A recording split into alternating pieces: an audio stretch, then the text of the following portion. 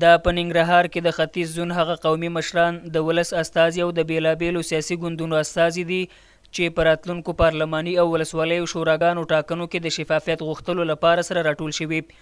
په ولسي جرګه کې د ننګرهار د خلکو استازی حاجي حضرت علي وایي ولسونه په ټاکنو کې د شفافیت غوښتنه کوي خو حکومت ځکه د شفافو ټاکنو پر وړاندې خنډ دی چې په وینا یې حکومت غواړي چې داسې وکیلان تر پارلمان ورسوي چې د ولس د غوښتنو پر ځای د حکومت غوښتنې ومني. د ټول سیاسي ډلو تنظیمونو غوښتنه دا ده چې انتخابات د شفاف وشي. د شفاف نه حکومت تښتي. د دې علت باندې ټول پوهیږو چې علت یې څه شی دی. هغه ځای ته دغسې خلک راوړي. چه هغه ته څه چه وایی همغه کار کوي. حاجي حضرت علي وايي، که حکومت په ټاکنو کې د شفافیت په اړه د ولس غوښتنې ونه مني، د حکومت پر وړاندې به ملي قیام ترسره کړي. شفاف نیمه ولسوالۍ کې انتخابات پرېږدي، که زموږ غږ یې وانه ورېده، ښارونو ته هم وځو، ولایت مخې ته هم وځو، قوماندانۍ مخې ته هم وځو، دا ځلي بس پنځه کسان نه ځي، دا به تورخم نه تر تروبي پورې تر پلچرخي پورې به لارې بندې وي، سرک ته به وځي او ټول افغانستان کې به دا پرته کېږي تر څو چې زر تر زره دې لپاره حل لاره پېدا نه کړي. د غونډې ګډونوال وايي، په خپل وخت د رڼو او شفافو ټاکنو ترسره کېدل غواړي خو د احزابو له څارنې او بایومټریک سیستم پرته د ټاکنو پر شفافیت ډاډه نه دي. دوی وايي، حکومت او د ټاکنو کمېسیون تر اوسه د ټاکنو د شفافیت په تړاو د ولس غوښتنو ته ځواب نه دی ویلی. موږ باید په دې ملک کې یو صحیح پارلمان ولرو، دې پارلمان ته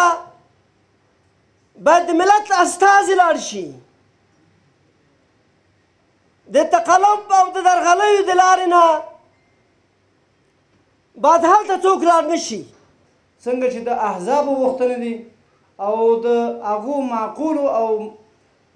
مدلله دلایلو سره هغه غوښتنو ته چې د انتخاباتو د شفاف د ترسره کېدلو لپاره په ټول افغانستان کې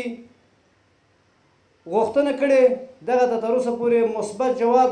نه د کمېسیون د رهبري له خوا نه او نه هم د حکومت د رهبري له خوا نه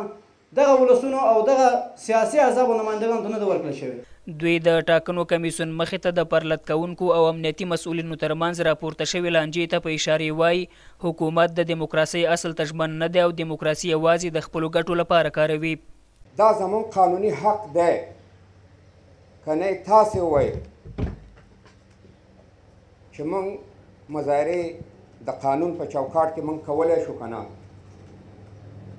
ای ولسه نن مونږ ټوپک نه دی راخستی نن مونږ کوتک نه دی راخستی نن موږ چا پسې کوم د چا کور هم نه دی سېزلی د چا دفتر هم نه دی سېزلی د قانون په چوکاټ کې موږ خپل حق غوښتی دی. او ډبول دا د قانون خلاف کار ده مظاهره کوونکو سره باید د تفاهم په ژبه خبرې شوې وای نه د ټوپک په ژبه